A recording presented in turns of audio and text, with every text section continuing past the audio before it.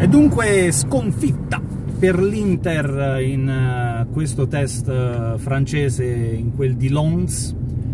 un, uh, un KO che vabbè, chiaramente non, non, inficia alcunché, un ottimo allenamento con tanti spunti interessanti, primo tempo con una squadra Zaghi diciamo, che ha messo in campo un po' quelli che sono i titolarissimi, che gioco forza e in maniera fisiologica erano comunque ancora ancora lontani dalla miglior condizione e si è visto soprattutto a livello di ritmo, di reattività, meglio nel, meglio nel secondo tempo con tra virgolette le seconde linee che comunque hanno, hanno creato molto di più, sono entrati soprattutto Lukaku e Lautaro, gol sbagliati in particolare del Toro argentino, ma si vede un'affinità di coppia dentro e fuori dal campo un'Inter quindi positiva che subisce il gol al novantesimo, un, un gollonzo,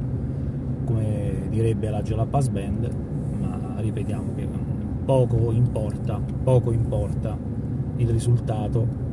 Ripetiamo, un buon, un buon allenamento adesso ci sarà da recuperare chiaramente qualche titolare, soprattutto Gosens, soprattutto Skriniar,